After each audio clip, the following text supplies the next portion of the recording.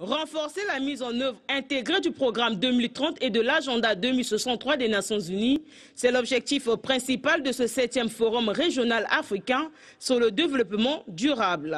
Au cours de ce colloque, les experts vont mutualiser les efforts afin de trouver un consensus qui permettra le développement de l'économie verte.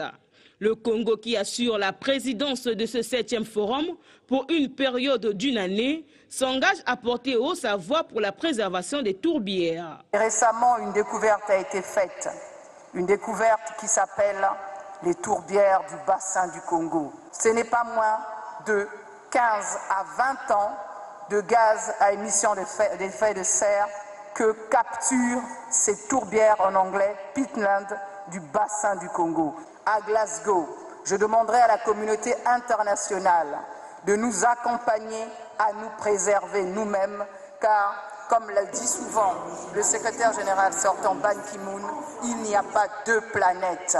Et nous courons après euh, le temps parce que les tourbières du bassin du Congo sont des bombes à retardement. Le président de la République du Congo, Denis Sassou Nguesso, qui a patronné cette rencontre virtuelle, a salué la tenue de ces travaux. Je déclare ouvert les travaux du 7e Forum régional africain sur le développement durable. Les conclusions de cette rencontre serviront de boussole pour la mise en œuvre des politiques intégrées de la préservation de l'environnement au plan national et régional.